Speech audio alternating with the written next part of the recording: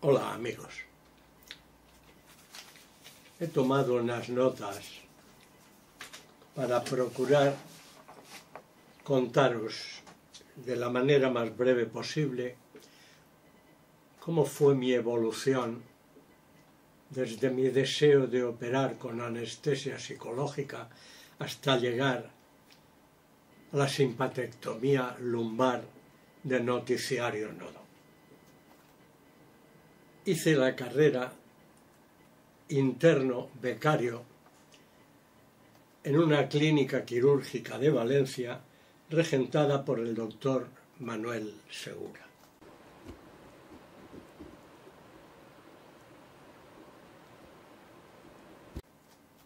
En ella lo mismo hacía de primer ayudante en quirófano que me ocupaba de la anestesia.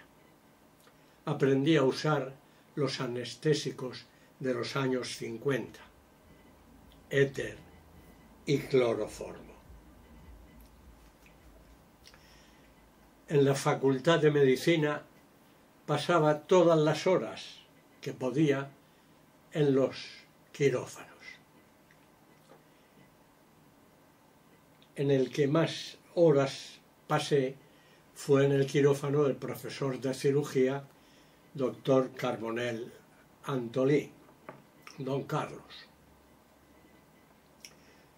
Tengo recuerdos que podría contar, pero os voy a decir solo uno.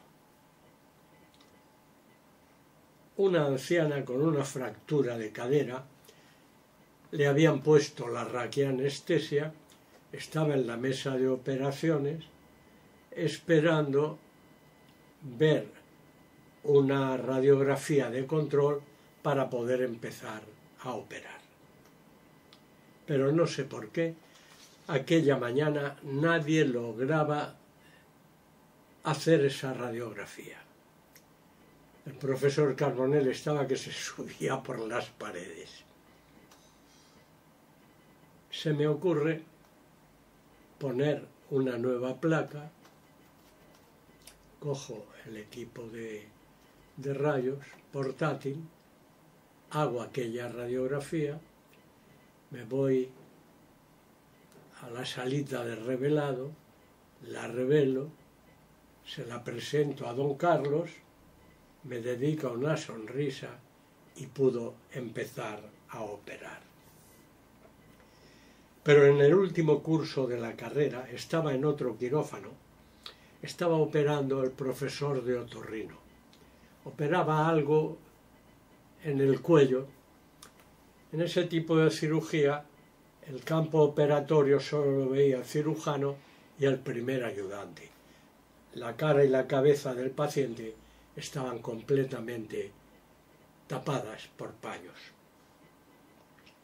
El anestesista responsable de esa anestesia me dice, me conocía bien, Ángel, vigílame al paciente que tengo que salir del quirófano.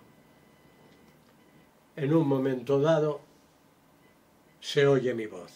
Profesor, destapen al paciente que se ha desconectado el tubo endotraqueal del respirador. Me mira, no me conoce, pero mi voz no le permite duda alguna. Lo destapan cojo el tubo endotraqueal, lo conecto con el respirador y digo, ya pueden seguir. Puedes imaginarte lo que pasó por la cabeza del anestesista cuando volvió al quirófano y se enteró de lo que había pasado. Los veranos de 1955 y 56 los pasé en Francia en Normandía, en el Hospital Pasteur de Cherburgo.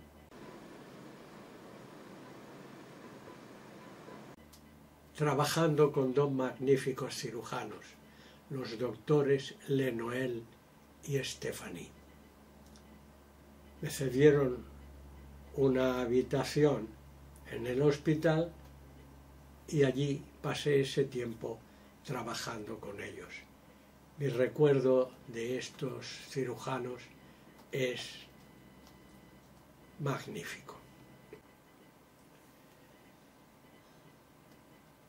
Terminada la carrera, me llaman del Sanatorio Antituberculoso de la Magdalena, en Castellón.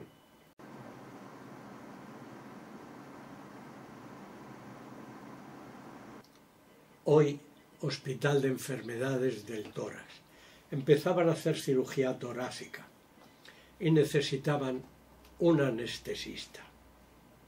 Pidieron un anestesista a la Facultad de Valencia y en la facultad les dieron mi nombre. Pasé allí los seis meses más agradables de toda mi vida de soltero, en un ambiente de compañeros formidables, ocupándome de la anestesia en cirugía torácica. Solo os voy a contar una anécdota tremenda. una joven tenía que pasar por el quirófano para hacerle una segmentectomía. Quitar un trocito del lóbulo superior izquierdo del pulmón que abarcaba una caverna tuberculosa.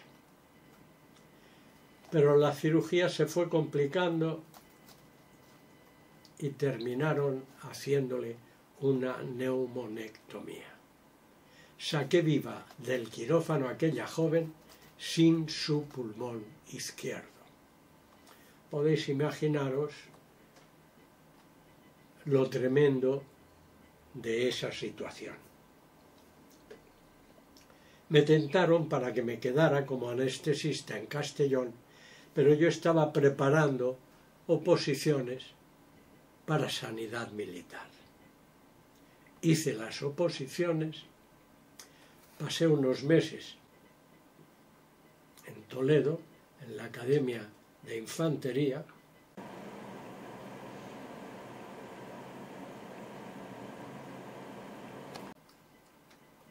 otros meses en la Academia de Sanidad en Madrid y salí como teniente médico.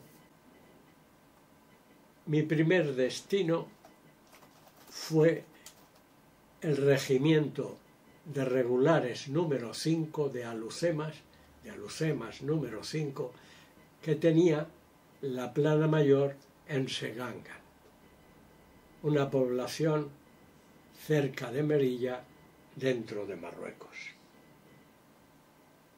Los primeros meses, destinado en ese regimiento, me ocupé del tabor de regulares que había en el Zoco El Hat de Benishikar. Las primeras noches me costó conciliar el sueño oyendo centinela el 1, centinela el 2, centinela el 3 toda la noche.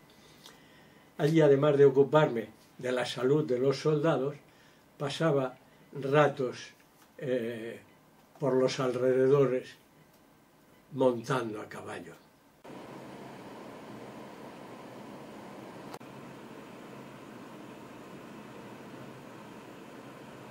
Después me ocupé del tabor que había en Yazane, también como la anterior a la falda del Gurugú, del monte Gurugú, a unos kilómetros de la ciudad de Melilla. En este mataba mi afición por la cirugía operando perros con el material quirúrgico residual que tenía allí de la Guerra Civil Española que me permitía hacer todo esto tranquilamente.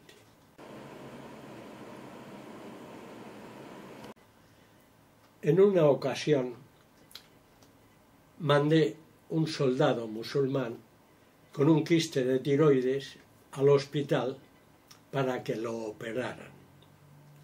Le dije que el día que lo tuvieran que operar, que me avisara que yo quería ir a presenciar la intervención. Me avisa, voy al hospital, me encuentro con el capitán médico Miguel Marqués, que me dice, escudero, lo siento, pero no voy a poder operar hoy, no tengo anestesista. Digo, ¿te sirve por casualidad alguien que se ha ocupado de la anestesia en cirugía torácica? Quedó encantado, operamos a aquel paciente y así empezó mi relación con este magnífico compañero. Estando un verano de vacaciones con mi esposa en Valencia, recibo una carta del doctor Marqués diciéndome que el comandante general, general Gotarredona, me ordenaba incorporarme a su equipo quirúrgico. Volvemos a Melilla, pasé un cierto tiempo ocupándome temprano por las mañanas del reconocimiento en el Tabor de Yasanen y pasaba el resto de la mañana trabajando en el hospital.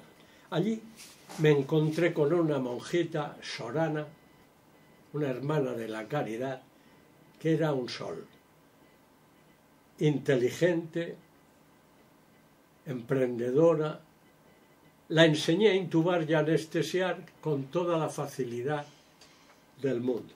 Así que, en lugar de dedicarme a anestesiar, me dediqué a operar mientras operaba, mientras anestesiaba Sorana, aunque también usé mucho la raqui anestesia.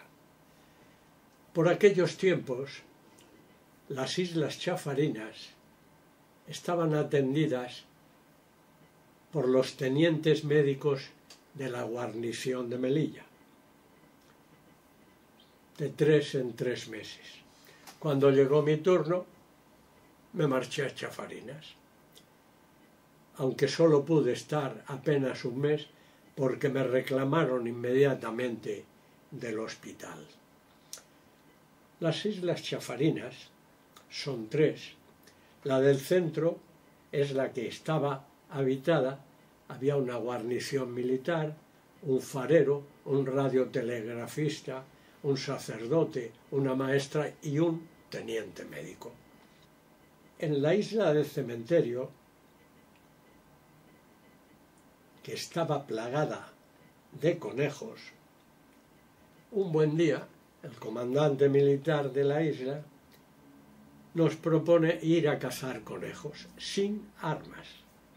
No obstante, yo le pido permiso para usar mi pistola del 9 corto. Sonrió como diciendo, ya vas a cazar tú conejos con pistola. Pero vete al otro extremo de la isla. Me acompañaron los dos marinos que nos habían llevado allí con una lancha.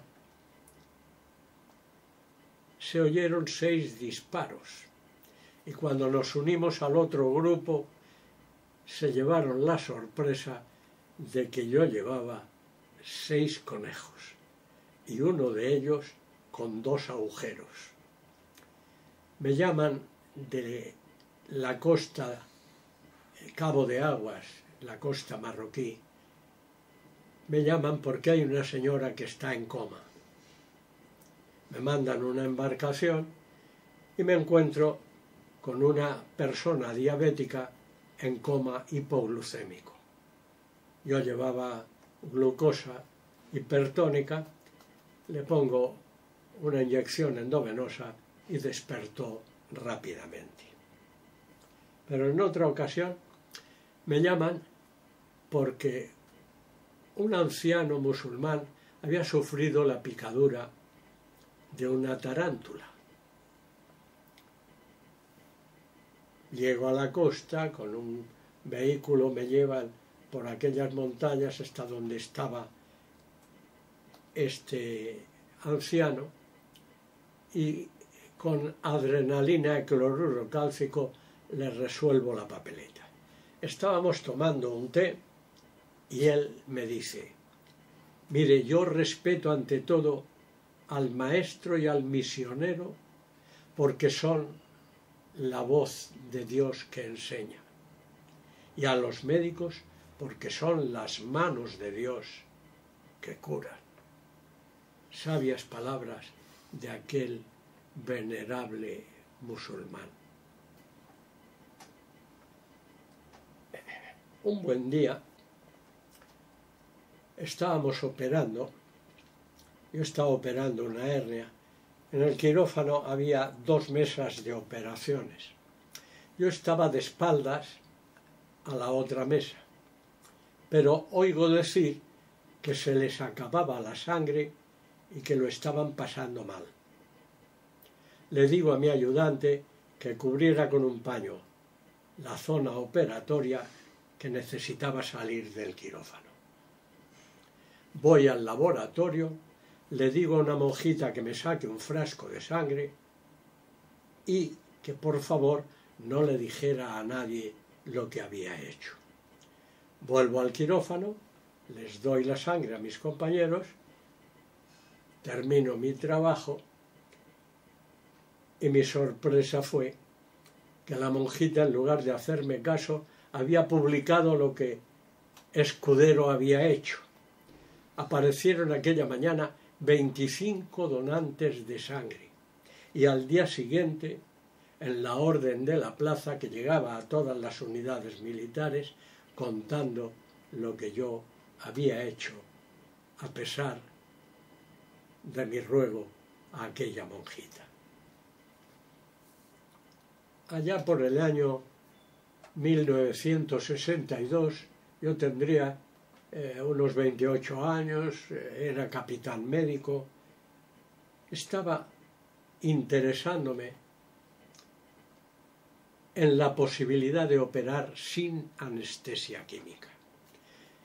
Aprendí a dirigir un ejercicio de relajación y operé a un soldado de fimosis sin anestesia pero antes de terminar, pensando en el bien mayor de aquel muchacho, le inyecté unas gotas de novocaína. Sin embargo, no se enteró de que estaba operado en todo el postoperatorio en una zona tan sensible para el varón. La operación más importante más complicada técnicamente que he hecho en toda mi vida la hice por aquellas fechas. Una anastomosis portocava. Seccionar la vena porta que lleva la sangre de todo el intestino al hígado y empalmarla a la vena cava.